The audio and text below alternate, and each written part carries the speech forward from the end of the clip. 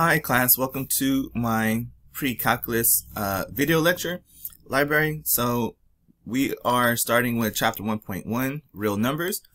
This video lecture series follows the pre-calculus by Stewart. Um, I'm using the seventh edition.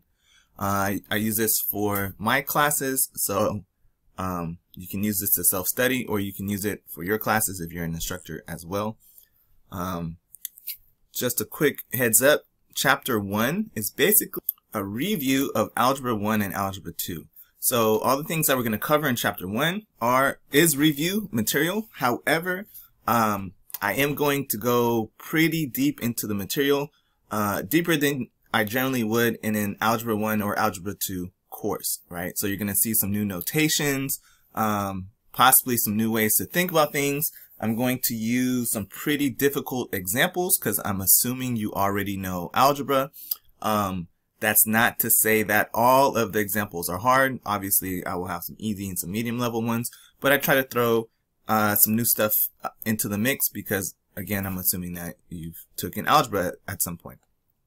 Um, when you watch these video series, I highly, highly, highly suggest that you watch this with a pencil and a piece of paper. You should definitely be taking notes as I am going through my video lectures. Um, now these lectures are available as PDF and as a course reader. Once I finish the an entire chapter, I add to my course reader. So these notes are available, but you should definitely be taking your own notes as well and working through the problems with me. Okay. So let's go ahead and get started on chapter 1.1. So we're going to discuss the real numbers. So the real numbers are composed of several different number sets. Okay. The first of those being the natural numbers. Okay. The natural numbers is notated by this fancy looking n here, right? And it has numbers like 1, 2, 3, so forth and so forth, right? So dot, dot, dot means keep going in this fashion, right? So these are whole numbers. Notice that there are no negatives and zero is not included, right? So the natural numbers are 1, 2, 3, 4, 5, 6, 7, 8, yada, yada, yada, yada, forever and forever. Okay, so these are commonly referred to as the counting numbers, right? They're the numbers that you learn as a child when you learn how to count. Okay, so these natural numbers are a subset of a larger set of numbers, which are the integers. The integers are notated with this fancy z, and it is the natural numbers, 1, 2, 3, 4, 5, 6, 7, 8, forever and forever, including 0, and the opposite of the uh, natural numbers, which is the negative natural numbers, which is not a thing, I just made that up. So they're the negative values of the natural numbers. Okay, so we go in the negative direction as well, forever and forever. So generally you learn your counting numbers, right? Your natural numbers or your whole numbers. And then you learn about the negatives of those. Okay. And so that's the way that this goes. The natural numbers is a subset of the integers. The integers, which contains the natural numbers, is a subset of the rationals. Okay. The rationals are notated by the fancy Q symbol here. They are basically your fractions. Okay whenever you have an integer over another integer, whether one of them is positive or negative, both positive, both negative, it doesn't really matter. But you have some number over another number, those numbers being integers. We can talk about the rationals either in their fraction form, which is an exact form, or we can start to talk about their approximate forms. So their decimal forms either terminate right? So you see here, this does not keep going on forever and forever. It stops somewhere. That would be a rational number. I could write this number as a fraction, okay?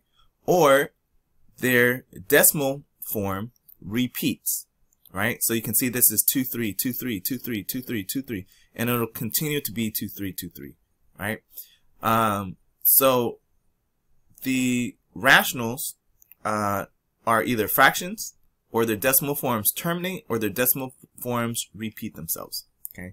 Uh, apologies, it looks like this is a, a comma that should just be the dot dot dot form. So I'll fix that in my PDF. The last part of our number system that we're going to talk about for now is the irrational numbers. We call this R, which stands for real numbers. The real numbers is the rationals and the irrationals together. Okay. So the irrationals, the notation is all of our regular numbers, the real numbers, backslash q. Now this backslash means take out the rationals. So the irrationals are basically all of the real numbers that's left over after we look at the rationals. Okay, so the rationals plus all the irrationals together give us the real numbers. Now, irrational numbers are numbers that have no um, fractional form and they their decimal form either it does not repeat okay and it does not terminate it does not stop right? So that's the irrational numbers. So these are a couple examples of each of these um, and we'll talk about that a little bit more in depth here. So again our natural numbers which we notate with n are the counting numbers okay also called the whole numbers. So depending on who you talk to what textbook you're using sometimes they say zero is included in the natural numbers Sometimes they say zero is not included in the counting numbers. So for here, you could include zero here. You could not include zero here. It really just depends on who you're talking to and their perspective. Okay. Um, the integers, right, again, is notated by Z. These are the set of positive and negative whole numbers, and they include zero. Okay. So when you see a little plus on the uh, top part of one of these notations, not including the n, but on the z notation, this means we're talking about the integers, but only the positive integers. Okay, z plus is equal to n because if we go back here, look at what n is. N is integers, but it's only the positives. It doesn't include the negatives, and I guess you could say that includes zero again, depending on what number system. So if we look at the integers and only the positive ones, that's the natural numbers, right?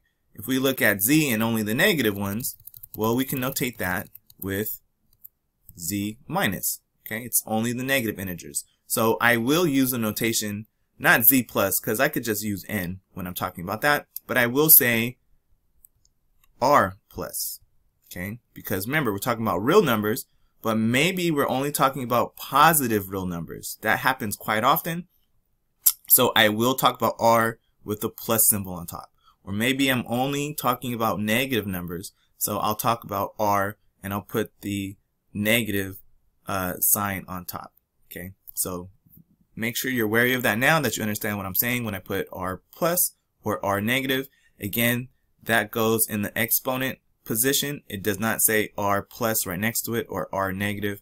That means something completely different. Okay. So Z plus, the plus is like an exponent, um, or Z negative, the negative is like an exponent. Okay. Here, zero is neither positive nor negative. So when we talk about Z plus or Z negative or R plus or R negative, we're not including zero. Okay. Zero is not positive or negative but 0 is even. 0 is an even number, okay? So it's even, but it is not positive or negative. So the rational numbers are the set of numbers that can be represented as a fraction. So again, one number on top of the other. So some number is represented as one number on top of the other. So here m could be the decimal form, or if this is like 5 over 1, this will be 5, right? Um, the only restriction here is that this bottom value cannot be zero. A and B can be any integer, right? Remember I said it has to be an integer. An integer on top, that means it could be positive on top, negative on top, positive or negative on bottom, right? So if this is negative on top and negative on bottom, you get a positive value out, right? So it can be an integer, positive or negative, it doesn't matter. The only restriction is that B cannot be uh, zero, no zeros on the bottom, and no irrational numbers. Okay, you cannot put an irrational number here. So you can't have like pi over 4. Um, that would not be rational. That would still be real, but it would not be a rational number, would not be a fraction, okay? In the strict definition of a fraction. Um, here, this symbol means is an element of. So A and B are integers. I will use this fancy looking E notation everywhere. Okay. So again, I'm going to be introducing you guys to more higher level math notation, um, just so that you're more familiar with it when you come across it, but I will always explain what it means. Okay. So here A and B are integers. They're in the set of integers. They have to be an integer. That's what this uh, little e, it's more like an epsilon, means. Okay. A rational number in decimal form, again, it, it either repeats forever or it terminates. Okay, so let's look at an example. An example of a repeating decimal is one third, one over three. When we put this into its decimal form, it's just 0.33333333333 forever. It never stops. Okay.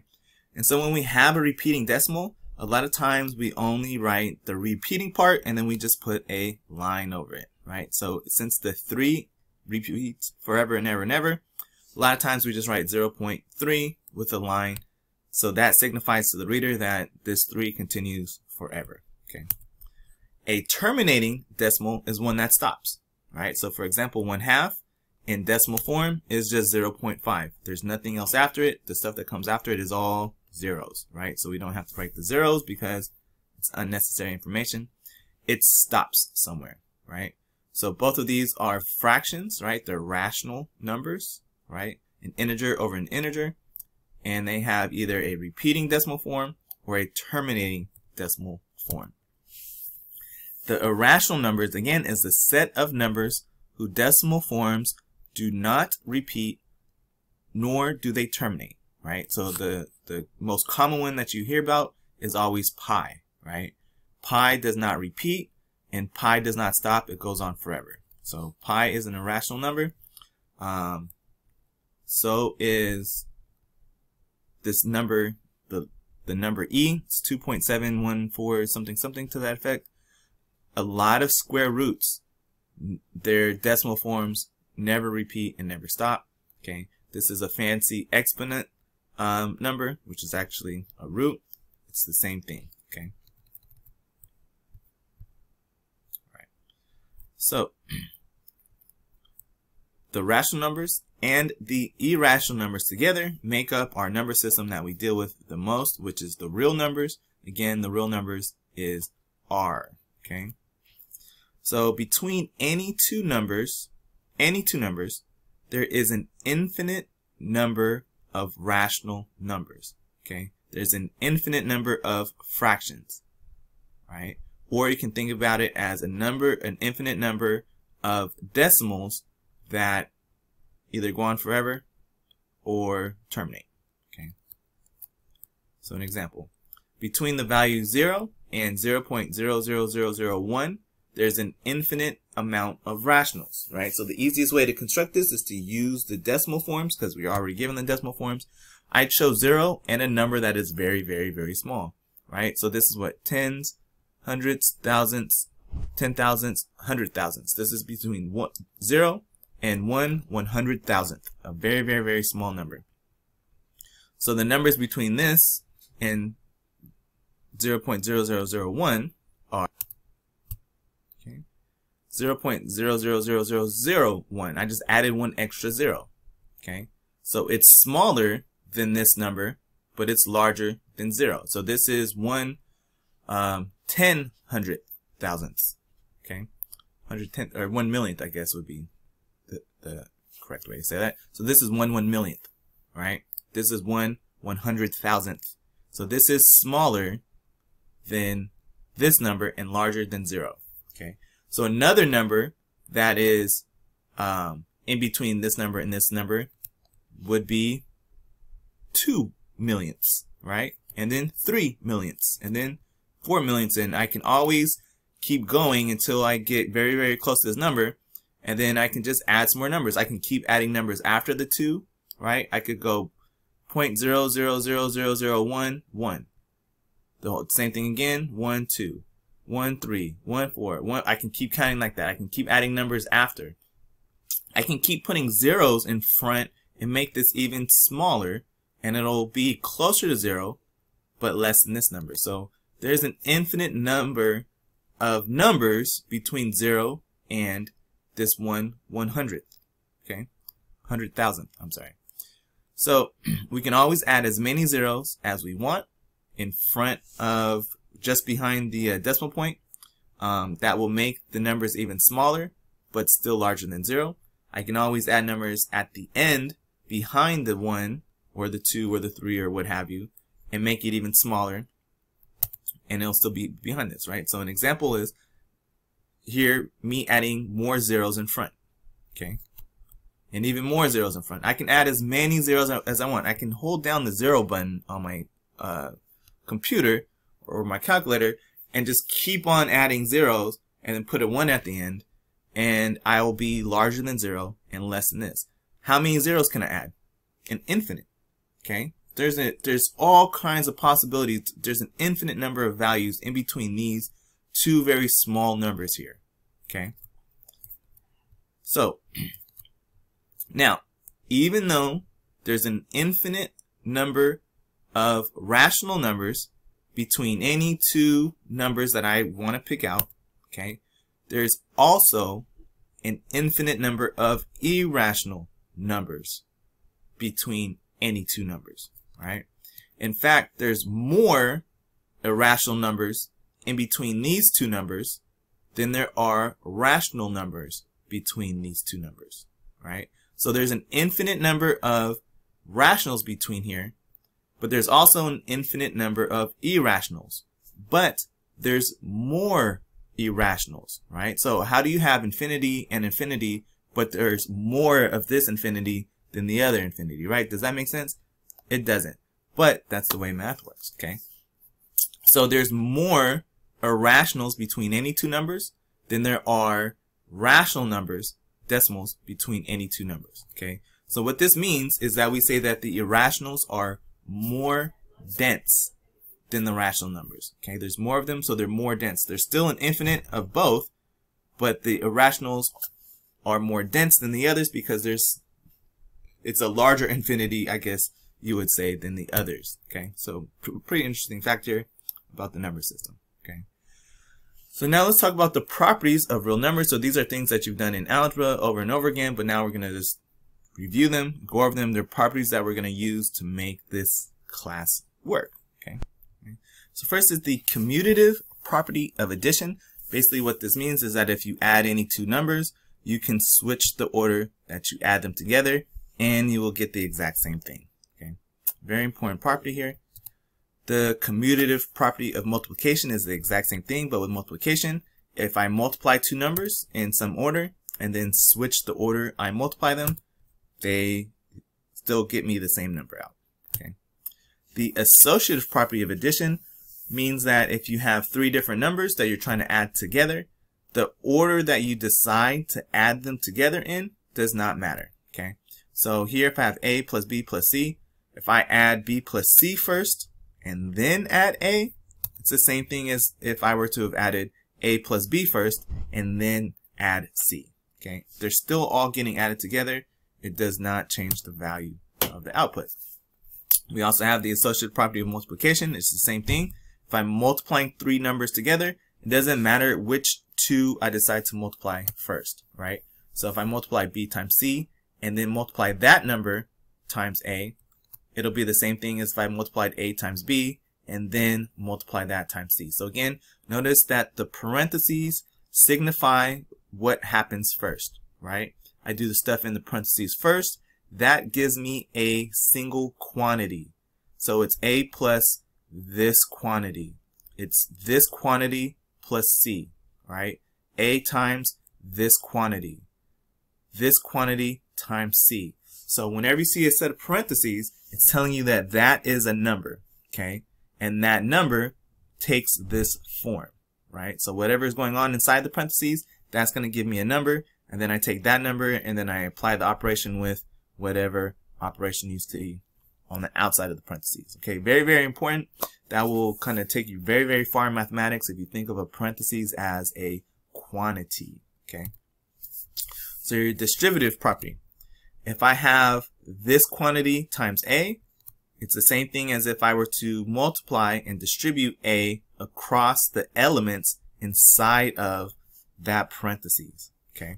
I can also do it the other way and have A on the other side, and it will still distribute across my parentheses. Okay, we call this a um, a left side distribution because my number is on the A and it distributes to the left.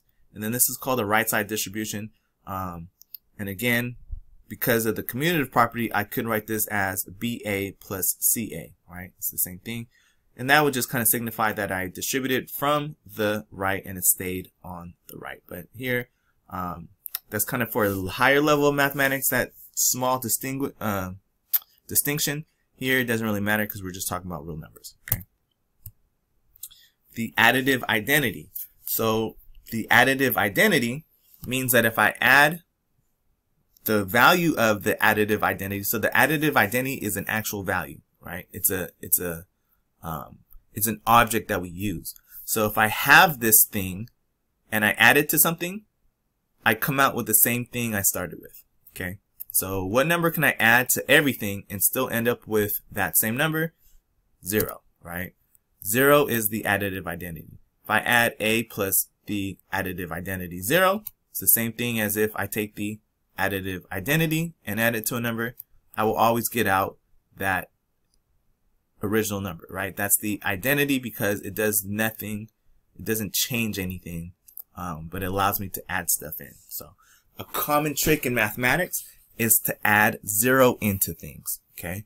So a lot of times we'll add in what I like to call a fancy zero. So I might add in A plus B minus B, right? So B minus B is zero, but me adding in B and then subtracting it right away allows me to manipulate whatever system I'm working with so that I can start to do some fancy stuff. Okay. So the additive identity is pretty important. We also have a multiplicative identity. So for the additive identity, we take a number and add that additive identity and get the same thing out. So for the multiplicative identity, we're going to have something and multiply it times that multiplicative identity and get the same thing out. So what do you think that number is? You should know it is 1, right? 1 times A is always going to get you A. So 1 is that multiplicative identity. Okay. We have the additive inverse. The additive inverse is just, um, for the real numbers, it is the negative value of whatever number you are using, right? So A plus its distinct additive inverse, right? So here the additive identity is a single object. The multiplicative identity is a single object. The additive inverse is specific to the value that you're working with already, right? So A has its own additive inverse. 3 has its own additive inverse. 10 has its own additive inverse, right?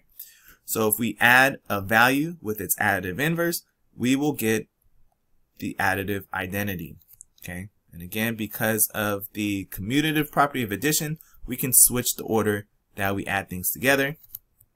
And again, here we go. So if we take a number and add it to its additive identity, I'm sorry, its additive inverse, we will get out the additive identity. Okay. Multiplicative inverse. So same thing. If I take a number and I multiply it by its multiplicative inverse, I will get out the multiplicative identity, right? So if my value is A, its inverse is 1 over A. If my value is 1 over A, its multiplicative inverse is A right? So 1 over a times a is the same thing as a times 1 over a. So again, this is from the commutative property of multiplication. It doesn't matter which order I uh, write things, okay? That will give me out a value of 1, again, which is the multiplicative identity. So again, just to recap, 0 is the additive identity, negative a is the uh, additive inverse, Okay.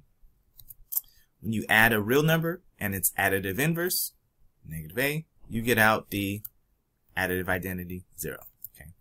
One is the multiplicative identity. 1 over a is the multiplicative inverse. When you multiply a real number with its multiplicative inverse, you get out the multiplicative identity. Okay. So here are some properties of negatives, right? So if you multiply negative 1 times a real number a, you're going to get negative a, right? If you take the negative of a negative, you get back to the positive. Negative a times b is the same as a times negative b, right? So this negative, you can also, you can, you can always think of it as negative 1. So this really is similar to having negative 1 times a times b. So it doesn't matter which order we apply the negative, right? So here I apply it to the a first, here I apply it to the b first, because everything is being multiplied, right? So that's the associative property of multiplication. So in the end, we'll get negative a times b. Um, again, if we have two negatives, then the two negatives turn into a positive, and we just multiply the a and the b terms together. Here again, this is like a negative 1 outside of a quantity of a and b, so the negative gets to be distributed across this quantity, right? That's from the distribution property. So that gives us a negative a and a negative b. Um, again, this is not negative a times negative b like we had here. This is negative a minus a positive b, right? So it's just changing the signs across our quantity here. Negative um, a minus b, same thing. The negative distributes across this quantity, and we get a negative a plus b. And we can shorten and combine um, properties 5 and 6, right? So this last thing that we have here is that we can always switch the order from the commutative property of addition. We can switch which order we move things. But if we do that, the signs have to stick with the value, right? So here B is positive. It goes in front. It's still positive, right? A is negative. So when it switches signs, the negative stays attached to the A, and this turns into B minus A. So again, these last two terms here can be combined and written as negative times A plus or minus B, right? So since the property is the same that's happening here, the only thing that's changing is the sign in the middle. Notice that what happens here. The sign in front stays the same, but the sign here changes. So here we have plus minus, plus minus. That will give us a negative. A is still negative. But instead of this being plus minus like it was, the, swap, the signs switch. It turns into a negative and a plus. So when we multiply a plus minus sign by negative, it switches orientation and it turns into a negative plus. Okay, so where it was positive, it would now be negative. Where it was negative, it is now positive. Okay, so this is some notation that I'm going to utilize in this class as, as well. So when you see a plus minus and then all of a sudden you see a negative plus, that means it was multiplied by a negative somewhere, um, and the signs had to switch. Okay. So here you get negative a minus b, and then the negative a plus b going on. So now let's talk about properties of fractions. Okay, so tends to be that in an algebra class, trig, pre-cal, calculus, diffie pretty much all the way up, everyone hates fractions. I used to hate fractions a lot, um, and so I practiced them a lot until I became really good at them, and now I love fractions. They're, they're easy to use once you know how to work with them. So if we have two fractions and we multiply them together, uh, it's very straightforward. We just multiply the tops together and we multiply the denominators. So again, the tops are called numerators, the bottoms are the denominators. So when we multiply, it's just straight across. There's nothing fancy we have to do. It's just the two top integers times the two bottom integers, right?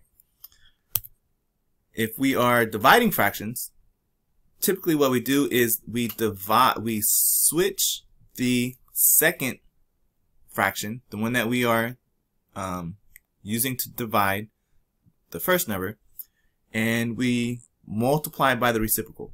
Okay, so the reciprocal means that we swap these ones out. Instead of c over d, it turns into d over c, and we multiply. So since multiplication is really easy, right, we're just multiplying the numerators, multiplying the denominators, we turn this into a multiplication problem. And really what we're doing is we're using that uh, multiplicative inverse uh, property of the real numbers, right? So we can just write this as a reciprocal and multiply them across. So a over d times b over c. When we are adding two fractions, if they have the same denominator, we can just add the numerators and place them over that common denominator. Okay. Um, I will be making an algebra video series later on. Um, I'm kind of going backwards. I started with linear algebra and differential equations, then I started working my way down the mathematics chain instead of up. Um, but at some point, I will make a whole video on possibly just only on fractions, right? Not even part of a series, just because I find that everyone tends to dislike fractions. So I think maybe I'll make some some um a video that talks about fractions only. Okay.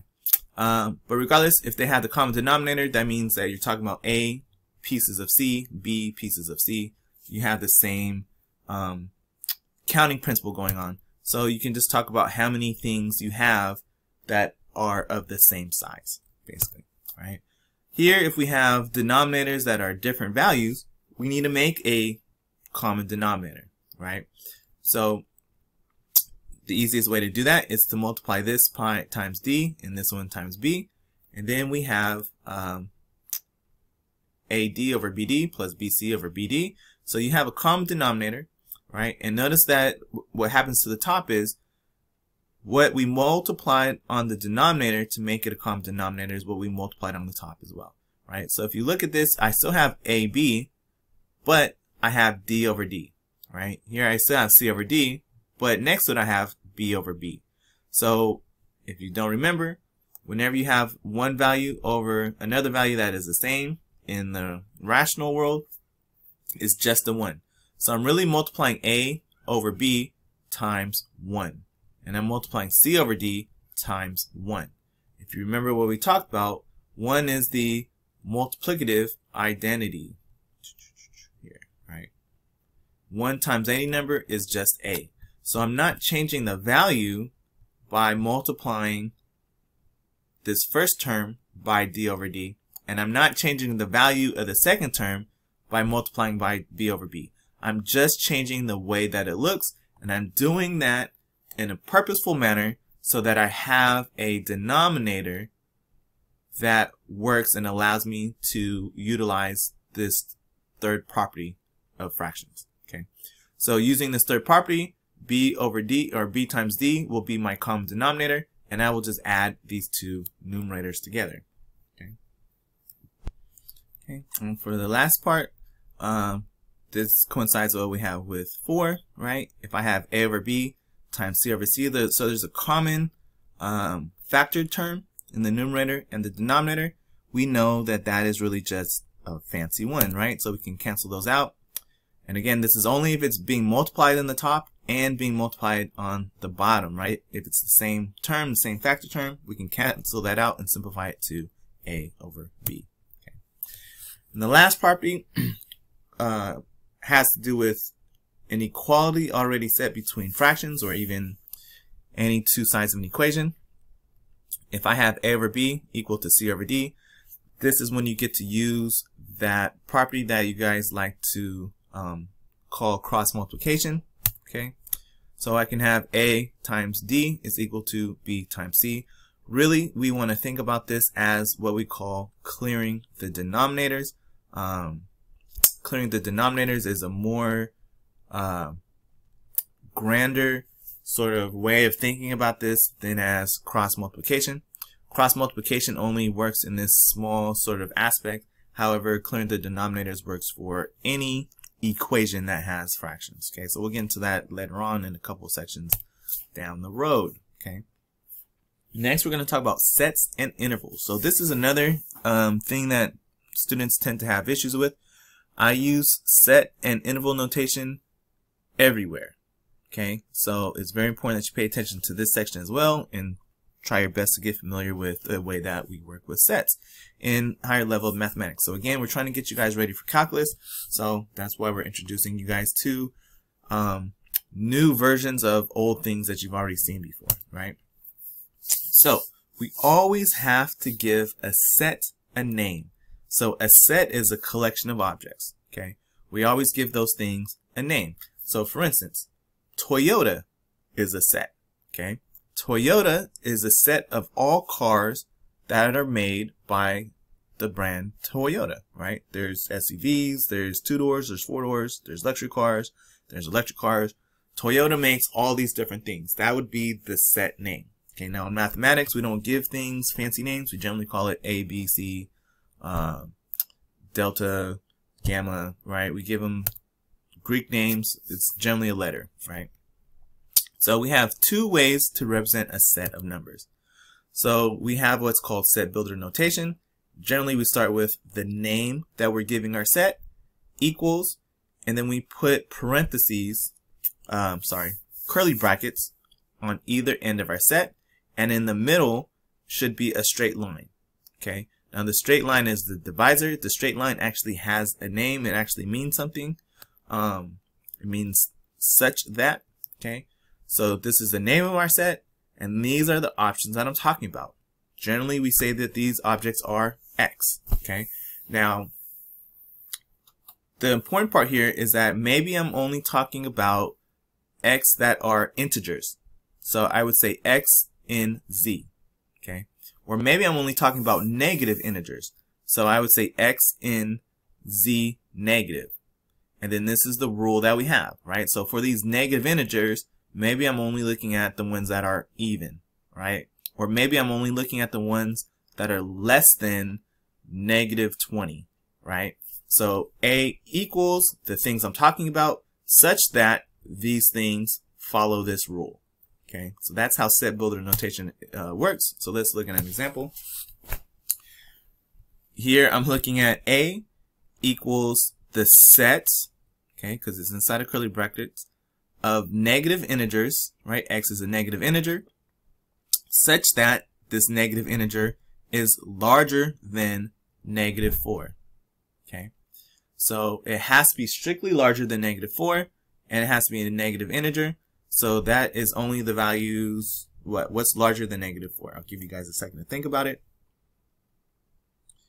So we have negative 3, negative 2, and negative 1. I don't go up to 0. I don't include 1, 2, 3, 4, etc., etc., because it's only the negative integers. Remember, 0 is not positive or negative, and I'm not including the positives, so it's only these three values. It's not all the numbers in between here like negative one and a half because negative one and a half is not an integer. So here A is a set of negative integers that are larger than negative 4. So that does not include the value negative 4 because there's no equality here. Okay. So next we'll talk about interval notation. Okay, interval notation I use a lot more than I do set builder notation. However, there are benefits of using one over the other. So if I wanted to express this as an interval, I would have to write this as x is inside of the numbers from negative 3 to negative 1, but also a negative number, negative integer, I'm sorry. Okay. If I had left out the specification that this was a negative number, then this interval would include things like negative 2.12345678910 or I guess not 10 but 9 right? Um, it would include things like negative one and a half. It would include all numbers from negative 3 to negative 1 but since I'm specifying here that x has to be a negative integer or I could have even just said that x is an integer I didn't even need the negatives because my interval is only in the negative side of the number line it would restrict it to negative 3, negative 2, and negative 1. Okay. Although this is a bit overkill, we don't generally use interval notation in this way. Um, I'm just giving you an example of how I can express this both ways, right? Or I can say x is in between negative 4 and 0, not including negative 4 and 0. That's the difference between a square um, parenthesis and a curved parenthesis. Here again, I'm saying that x is a negative integer. Again, since I'm only on the negative side, I don't actually need to specify that x is negative here because the interval I have is already on the negative side. Okay.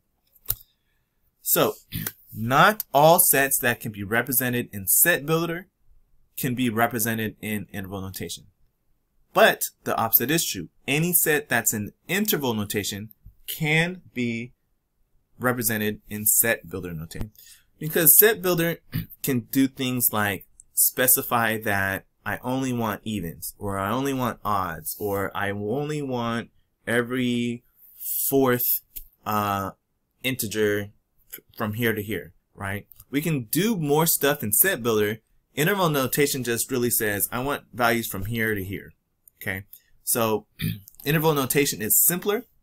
It's easier to read, okay? Here we go.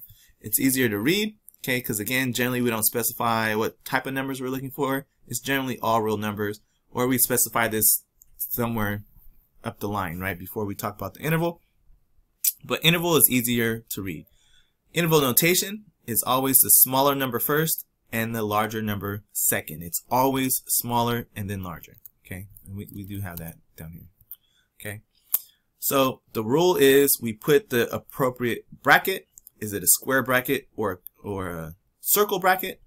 The smallest number that is allowed in my set. Sometimes there is no smallest, and I have to put negative infinity. Then I put my largest number, and sometimes there is no largest number, so I put positive infinity, okay? And then the bracket. So the brackets do not have to match. I can have a closed bracket here, a square bracket, and I can have an open bracket here, a circle bracket. Okay, so the brackets can be mixed, mixed matched. So again, square brackets are closed. It means the endpoint is included.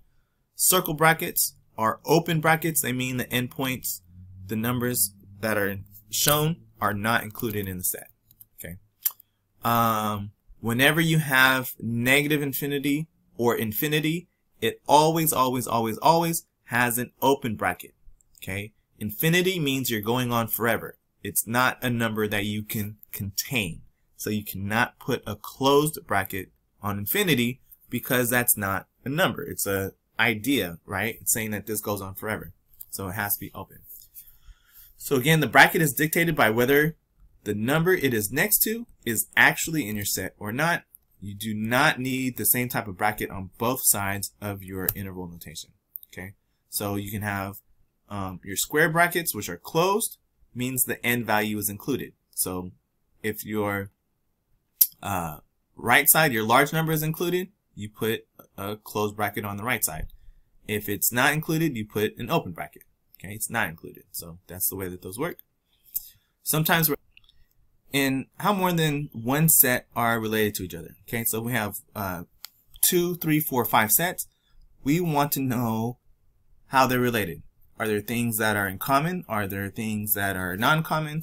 Um, so a lot of time we're talking about more than one thing. Okay, so we may need to use more than one interval to describe a set of interest. So we tend to use a symbol that's called union. It looks like a um, like a valley, okay, like a U, and we have the symbol intersection, which looks like a hill. Okay, so union is the U, intersection is the hill. This means or this means and. Okay. We use union to describe um, when we're trying to combine two or more sets together. So an example. So we have the set. A is the set of integers that are even. Okay, so this is the set of even integers. B is the set of real numbers. Okay, so B is really just all of n. Okay, x such that x is in n. So this is the even integers. So this includes negatives and positives. This includes only positive whole numbers, right? Then A or B, right? A union B, this is the set of things that are in A and also in B, is going to be all of A and also all of B. So we have the even integers, negative 6, negative 4, negative 2, 0, and then we have all of the n's, which is 1, 2, 3, 4. Because 2 is also an even integer, 4 is also an even integer. 1 is not, but 1 is an n. So it's really us just taking this whole set and this whole set and combining all of the elements together. Okay, That is what OR does for us. We use intersection to describe what is the same about two or more sets. So what are the things that are in A that are also in B? Okay. So example, here we're going to use the exact same sets. We got A is the even uh, integers. B is just the set of natural numbers. Then the intersection of those two are basically the positive even integers because this is all even integers. This is all whole numbers. So I can't have any negatives in here. Okay. Because these aren't negative. I can't have zero because this doesn't include zero. Right. And I can't include the odds because this does not include the odds. So the things that are in this set and this set also are 2, 4, 6, 8, 10, 12, da, da, da, all the way to infinity. Okay. Now, if two sets do not have anything in common at all, then we use this circle with a slash through it. Okay. That is called the empty set. And it basically signifies that um, the intersection of these two things have nothing in common. Right. So on a number line, we tend to use interval notation to describe a set. So what this means is that when we draw on a number line and we specify um, the graphical representation of an interval, okay, we use the open and closed bracket system to specify uh, when something's included in our set and when something's not included in our set, right? So an open node in the middle of an interval will represent a hole in, in our set, a single missing value where that hole is at, right? So here's an example, okay? Here, as you can see, the, um, the odd numbers are missing, which is fine. It's not hard to tell where they are. So this is negative 1, and this is 3, okay? So this interval exists over negative 1 to 3. Negative 1 is included, 3 is not included, and neither is 0. Okay, so my interval has a hole in it. I cannot represent this as a single interval, right? I can't say, oh, this is from negative 1 uh, with a square bracket to 3 with an open bracket. It's two separate intervals. There's just one missing value. Okay, so in order to write this, I would say that x is in the set from negative 1 to 0. You see I have an open bracket at 0. What this means is I can get as close to 0 as I want from the left side, right? So I can be negative 0.00000000001, right? Which is very, very close to 0. I can get as close to 0 as I can from the negative side, but I can't actually be 0. Okay, so that's the first interval or x is allowed to be in the interval from 0 to 3. 0 still not included, and 3 not included either, right? Meaning that I can be as close to 0 as I want from the positive side, 0 0.00000000001, right? Very, very close to 0, as close as I can without actually being 0. And then I can, any value is included in this all the way up to 3, but not including 3. So again, as close to 3 as I can get, but not actually being there. 2.99999999999, etc. Right? So I can get extremely, extremely close to 3, but I can't actually be 3. I can get extremely close to 0 from either side, but I'm not allowed to actually have the value of 0. So here's a quick um, cheat list, basically, of the notation the set builder description, and the graph. Okay, so again, there will be a PDF write-up of this, so you'll have that for your, your lecture notes. So if you're struggling to write this part all down as we're going through this video, that's fine. You, you can circle back and either download it from the website or if you're in my class, it'll be posted on your, what we're using right now is Canvas. it'll be posted on your Canvas page. Okay, so just a quick things to, to look at. To look at here that the notation is open brackets. Here, both of these are strictly less than. For the graph, they're both open. Okay. Here, these are both closed. Here, the description, they are both inclusive. And for the graph, they are both closed. And then these are just mixtures of those two things, right? Closed and open, closed, open, included, not included, right? And then the opposite of that, here for um, infinity, notice that none of the infinities have a closed bracket around them, okay?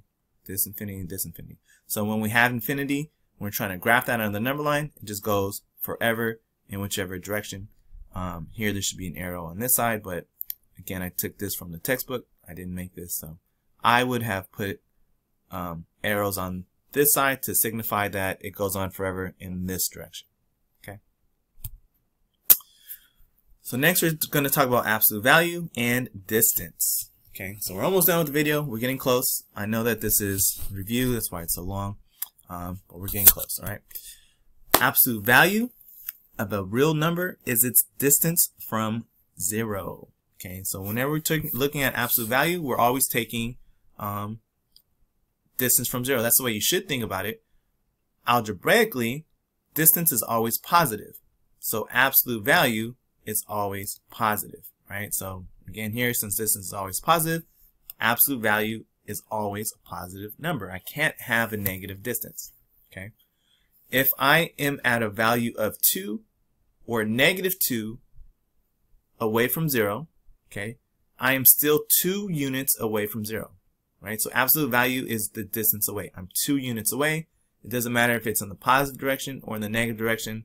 It's the amount away that I am. It's always a positive value.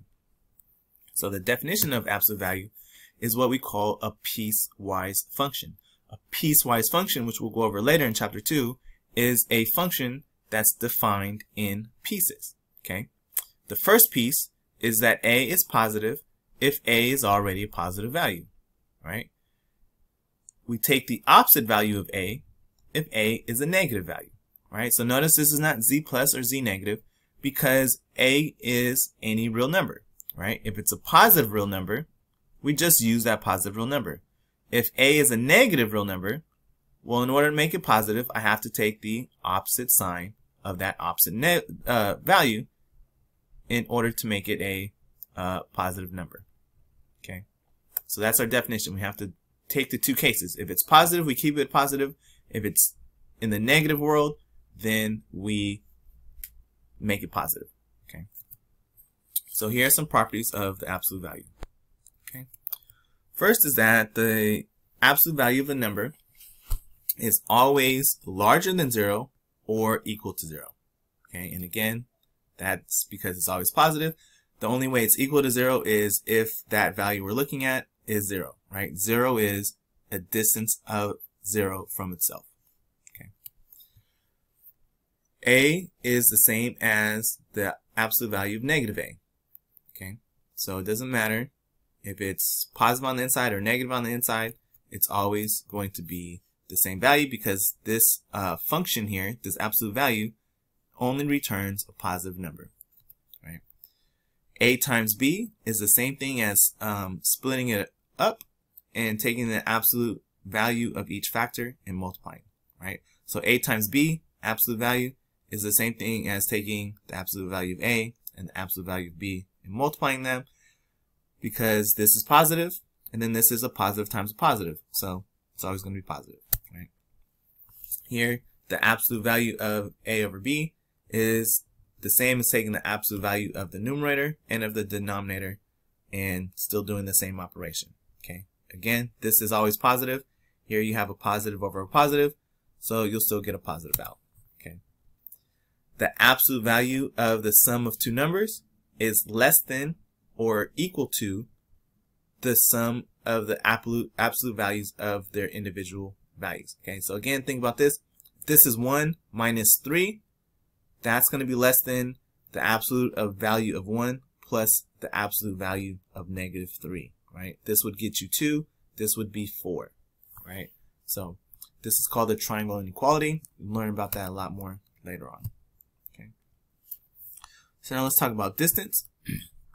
the distance between two real numbers, a and b being real numbers. Okay, so again, the distance between two real numbers, so I need to have two real numbers, a and b being real numbers, is b minus a, absolute value, right?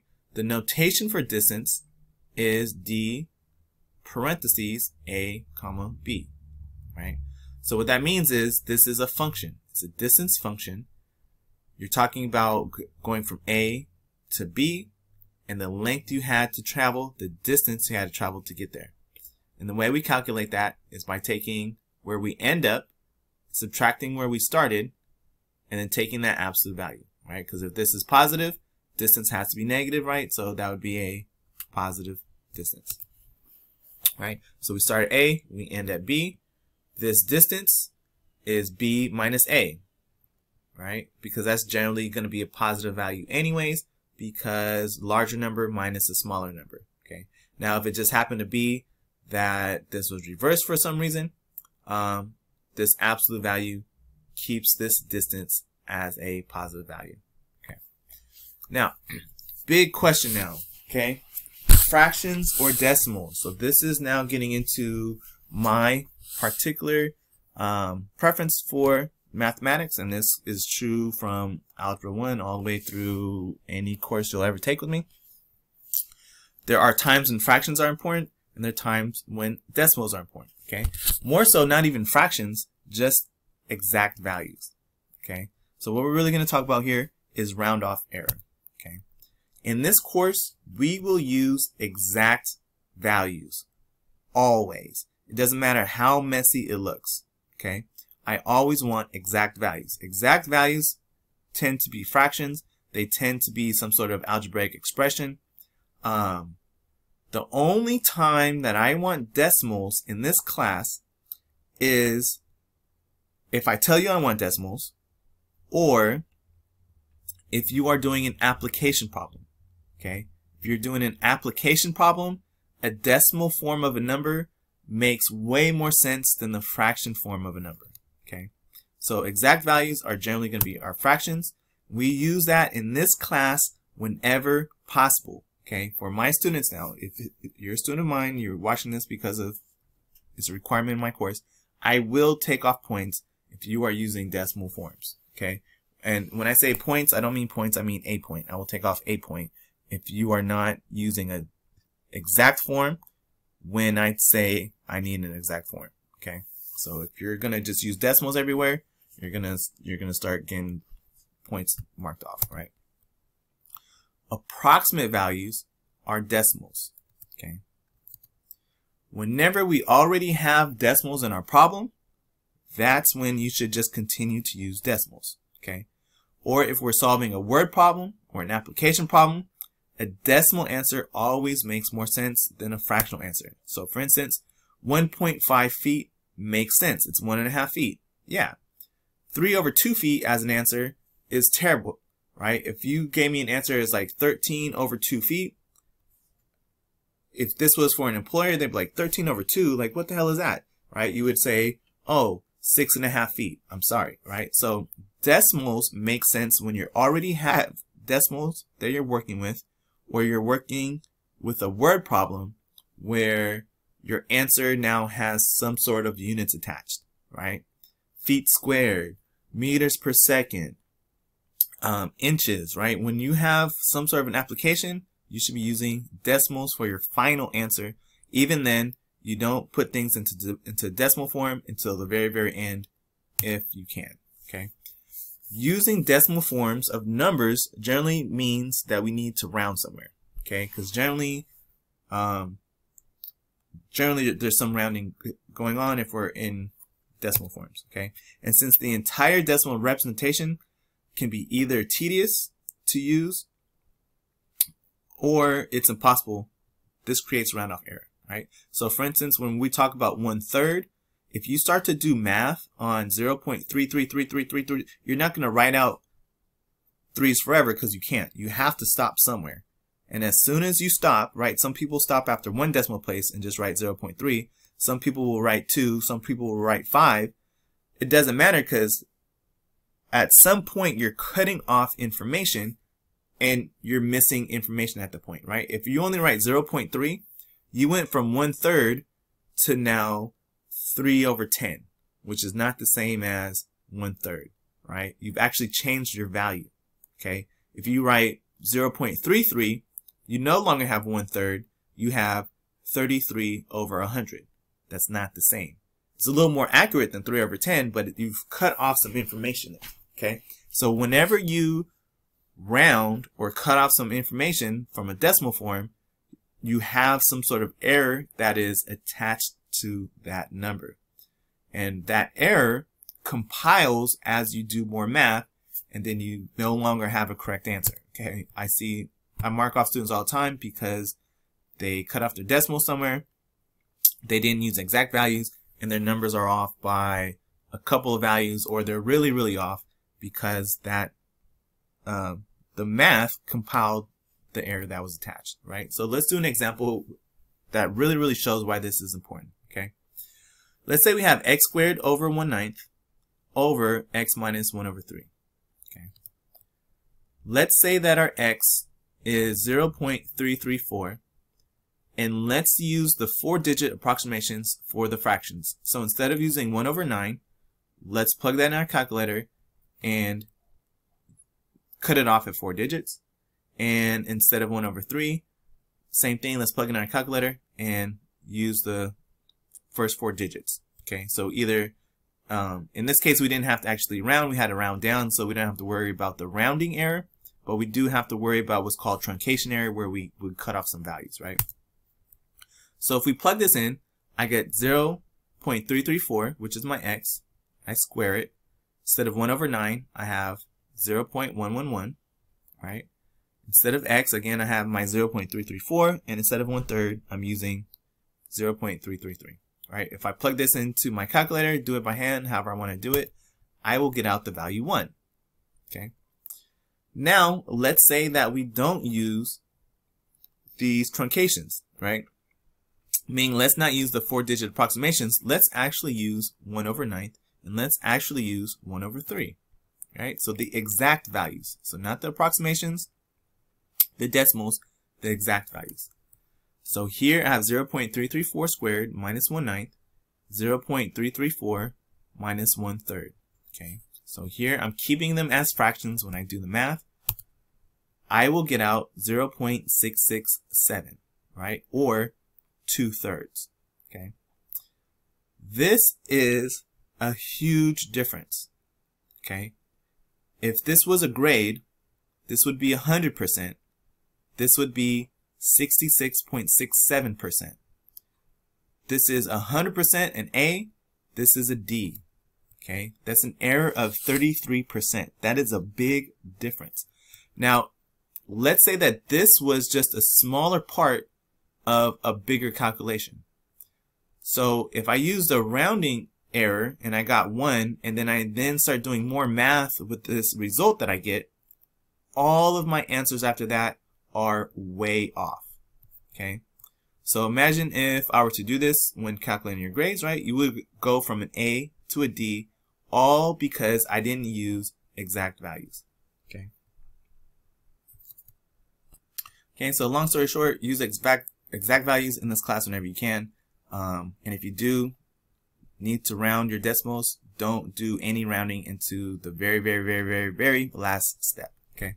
Um, so that's it for our first section. Um, I hope this was informative in some sense. I know it can be kind of dry going over a review like this, but hopefully there was some new stuff in here um, that you haven't seen before or ways that you've thought of numbers that you haven't seen either. So uh, good luck. I'll see you on the next section.